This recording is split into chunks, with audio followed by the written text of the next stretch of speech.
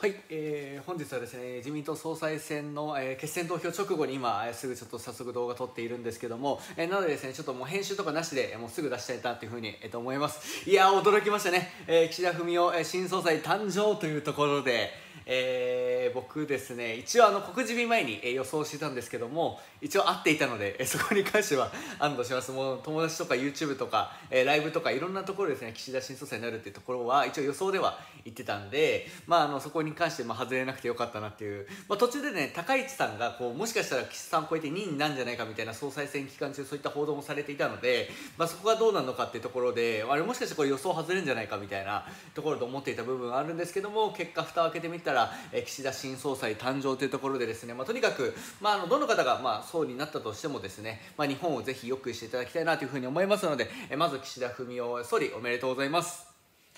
っていうことなんですけどもでしかもですね岸田さんにとっては今回の総裁選めちゃくちゃプラスになりましてまず1回目の投票で基本的に2位がええ河野さんが1位で、え2位岸田さんでで決選投票で議員票であの岸田さんが河野さんを上回るんじゃないかみたいに言われていたんですけども1位まさかの岸田さんが1票差で通過するっていうですねえところになりましたので、まあ、今回決選投票でもともと2位3位連合なるかみたいに言われてたんですよ。で2位の岸田さんと3位の高市さんでここが合わさって河野さんを倒すって言われてたんですけどもこれが1位3位連合になるんでまあなんかそのなんか派閥の裏の力でまあもちろん党員票河野さんが1位ではあるんですけどもなんか裏の力で勝った感っていうのがちょっと薄まったなっていう 感じになりますので、まあ、ここ岸田さん1位になったっていうのが1位の人がそのまま決選投票でも1位になったっていう、えー、ところになりますのでここはあの本当に岸田さんにとっては、まあ、今後政権運営ですとか、まあ、次の衆院選のところでも、まあ、ちょっとプラスに働いていくのかなっていうところですよね。はいすいません。今日いつもちょっとテンション高い深夜に撮影してる時もテンション高いんですけども。はい。でちょっとね本日は、ね、気になる点をいろいろお話ししたいなというふうに思います。ちょっと順番にいきたいと思います、えっと、まず、えっと、党員党友票、えー、1回目いろいろ開票出ておりましてでパーセンテージ的に言うと河野さんが44%あのこれ四捨五入とかしてるんですけどもで岸田さんが29%で高市さんが19%野田聖子さんが8%ということで思ってた以上に河野太郎さん取れてないっすねっていう。あもちろん1位でもダントツの44%なんですけどももともと河野太郎さんの陣営の戦略としては、まあ60%、とかあのと国民の圧倒的な人気を得てもう総裁次のもう衆院選挙自分が顔にならないともう選挙戦えないですよっていう。じゃあ1回目でもう過半数、えー、党員党友票と議員票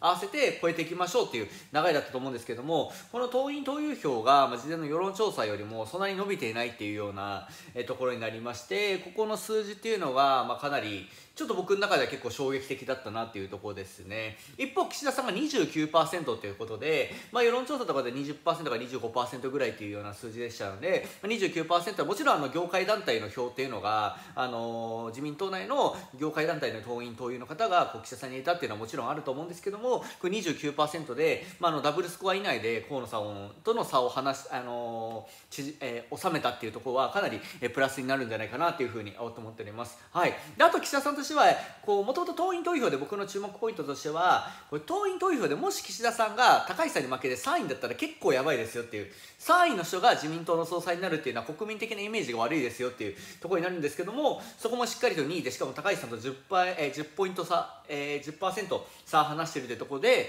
まあ、ここはですねあの岸田さんにとっては、まあ、その事前のあの報道よりもかなり次の政権運営というのは進めやすいような数字になったんじゃないかなというふうに、えー、と思っております。はいで、まあ、野田聖子さんは8%ということで、まあ、事前よりも、まあ、元々世論調査6%とか7%とかそういった数字だったと思うので、まあ、少しだけ伸ばしたんじゃないかなというふうに、えっと、思っております。だ党員という方は本当に岸田さんにとってはもうかなりプラスの数字で、まあ、河野さん的には結構打撃的な数字だったんじゃないかなというふうに、えっと、思います。はい続いて、えっと、議員票ですね。はい。えー、議員票もですねちょっと結構驚きでしてえ岸田さんが146票でトップ。で、えー、河野さんが86票。で、え、高市早苗さんが114票、え、野田聖子さんが34票ということなんですけども。いやまあ岸田さんの146はまあまあ事前の想定通りかなっていうところなんですけども河野さんが86票。え事前の世論調査とかもういろんなメディアの報道とかでと、まあ、110からまあ120ぐらい取るんじゃないかみたいな、えー、言われていたんですけどもそれが86票ってことは、まあ、ある派閥ですね。あの数字の2がちらつく。あの派閥の人が高市さんの方に流したか、えー、もしくは本当にあの一人一人ですね、まあ、河野さんがもう岸田さんもう昨日とか一昨日の時点でもう岸田新総裁誕生っていうのがもう現実的には見えておりましたので、まあ、自分とかのポストとか、まあ、そういったところで、まあ、どんどん河野さんを応援した人が引き剥がされて、まあ、岸田さんの方に行ってったんじゃないかなっていう。もともと河野さんを応援するっていう人はあのやっぱりこう河野新総裁だと、まあ、選挙叩き合いやすいですとか、まあ、世代間交代とか訴ええているっていうそういったことは目的の人が多かったので、まあ、その見込みがなくなった以上多分次自分のポジションがこう悪くなるまでリスクを冒して河野さんを応援したいっていう方っていうのはなかなか少ないかなというふうに思いますので、まあ、そこであの岸田さんかもしくは高井さんの方に行ったんじゃないかなというふうに、えー、と思っております。はいで高市さんも114票ってやっぱ事前よりもかなり伸ばしてるなってところでやっぱりこう、まあ、の派閥か あのやっぱりあの河野さんが明らかに想定されてる数字よりも少ないのでやっぱある派閥が動いたとしか言えない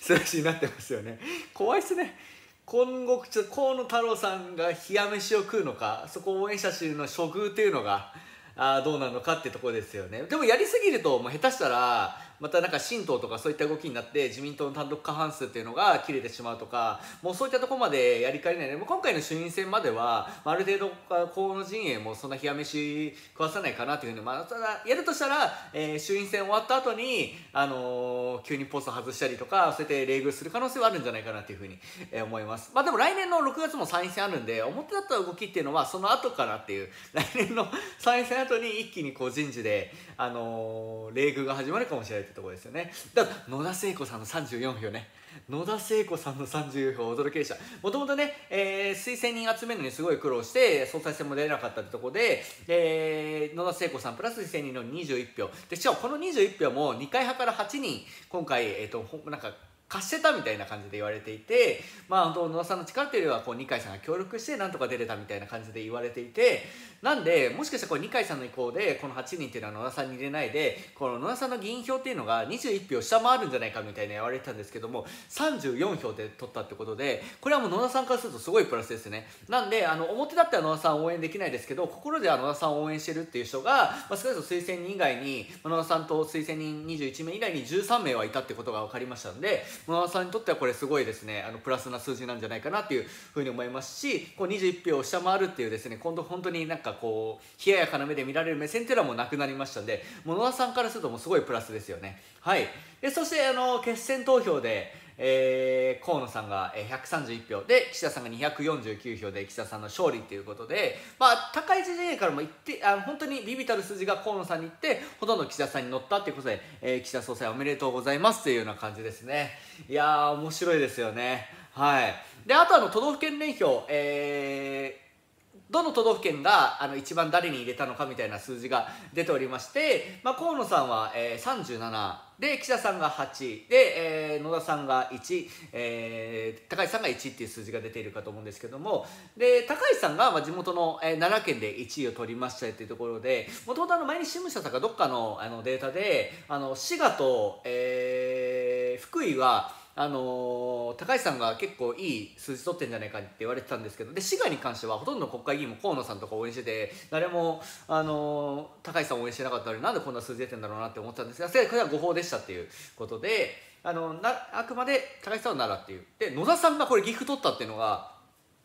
結構すごいことで、もともとこう岐阜県内で野田さんを表立って応援している人って野田さん以外にもう1人しかいなくてで他、えーと、6名ぐらいの議員さんがいたんですけど私たち誰も他の人を応援したっていうことになりますのでしかもあの古谷さんっていう議員さんがいるんですけどもその人は今回あの高市さんの本当選対幹部長といいますかすごいあの高市さんのもう選対の中心人物ってこれ岐阜県内でもかなり影響力を持っている方ですので、まあ、その人が、まあ、他の高市さんとか応援しているにもかかわらず野田さんがしかも他に応援している議員が1人しかいないっていう状況で、まあ、岐阜県内で1位取れたっていうのは野田さんがちゃんとなんかこう実力を示したなっていうところになりますのでなんかこうこうなんか冷ややかな見られ方しながらお前勝てねえだろって見られながら立候補してただこう自分の実力を示したっていうのは野田さん僕はすごいかっこいいなっていうふうに、えー、思いましたね今回ね。はい、であとあのー、えー、岸田さん、えー、都道府県で言いますと青森山梨香川広島島根山口熊本山形ってとこで